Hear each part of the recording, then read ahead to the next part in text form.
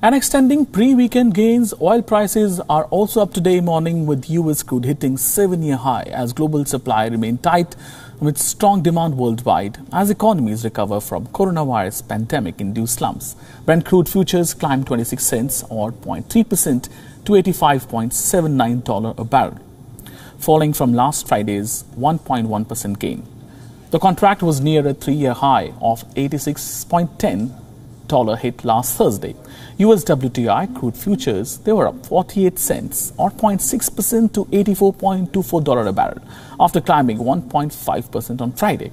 It touched its highest since October 2014, $84.28 earlier in the session with WTI futures, they contracted oh, because of currently steep overall there were reasons for that meaning later dated contracts trade are at lower pace than current contract. Normally later months trade at a higher price, reflecting cost of storing oil.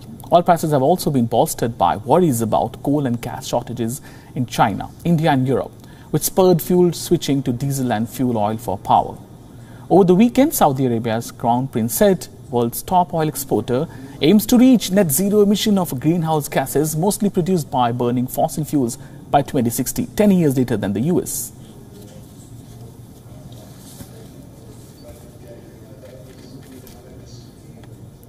WION now available in your country. Download the app and get all the news on the move.